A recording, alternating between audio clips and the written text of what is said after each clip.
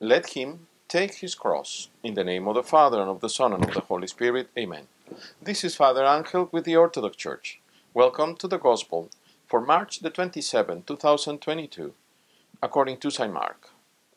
When he had called the people to himself, with his disciples also, he said to them, Whoever desires to come after me, let him deny himself, and take up his cross and follow me. For whoever desires to save his life will lose it, but whoever loses his life for my sake and the gospel's will save it. For what will it profit a man if he gains the whole world and loses his own soul? Or what will a man give in exchange for his soul? For whoever is ashamed of me and my words in this adulterous and sinful generation, of him the Son of Man also will be ashamed when he comes in the glory of his Father with the holy angels. And he said to them, Assuredly, I say to you, that there are some standing here who will not taste death till they see the kingdom of God present with power. Glory be to thee, O God, glory be to thee. Is it convenient for you to follow the Christ? If you want to be saved, if you want to enter into heaven and not be condemned into hell, by all means, yes, we need to follow him. There is no, no free salvation. And even as we are not saved by our own actions, the way that we live implies the way that we trust. Whom do we trust? Do we trust do we really trust God? Or do we just say that we believe in him and do whatever we want? Now, what is that cross? Is this the cross that the Lord is talking about? Should, should you buy one of these? Not at all. This cross reminds me of Him who loved me when I was a sinner and gave Himself up for me and for you. So, what cross is the one that we should pick up? Well, imagine for one moment that today in the afternoon I get home and I see my wife of 36 years, and she looks at me and she says, You know, I love you, but I've been going out with another man for the last three years. I'm in love with him, and I'm leaving you today. That would be a cross for me. For thank to God, and up to my strength, I have been faithful to her. That would be the cross that God gives me. But if I had been having several affairs with women through the years, apparently with, without her knowing, and then this happens, is it still the cross that God is giving me?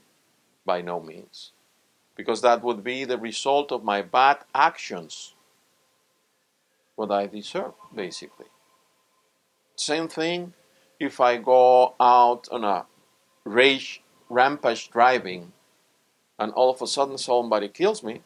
Is that the cross that God gave me? By no means, because I incited that out of my own actions. So,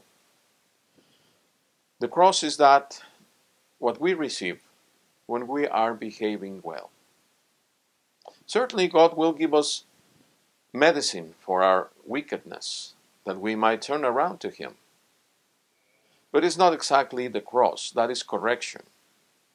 See how the Lord Jesus Christ did not have any, even the shade of a sin, and yet He was given this incredible cross to bear. Absolutely unjust but according to the plan of God, totally justified. Some stupid people say that he paid the ransom for you and me to the devil, or to the world, or to whatever. That's just sheer stupidity. God did pay the ransom to whom? To himself, to his righteousness. Because there cannot be righteousness and mercy if there is no truth. And there cannot be any mercy, any truthful mercy, if there is no righteousness and justice. So, because of what we had done, of our transgressions, we were doomed to die. And He incarnated to pay for our own debts with His own death, He being an innocent man. So, the cross that we are venerating and adoring today basically reminds us how great this love is for you and me, that He has paid for your sins and mine, provided that we heed Him and obey Him. Otherwise, we cannot accept that blood, and it cannot be shed for you unless you obey Him and accept Him as God. I would like to thank everyone that so far has helped us. We are, like I said before Pascha, I hope to have really nice our little chapel. Right before that time, I will make a little um, video on it showing all the improvements that we're doing and especially working on the uh, legal papers for, for the donation that we receive of the land, that it might be finally in the OCA's name. Thank you all. God bless you. For blessed is our God, always now and ever, and unto ages of ages. Amen.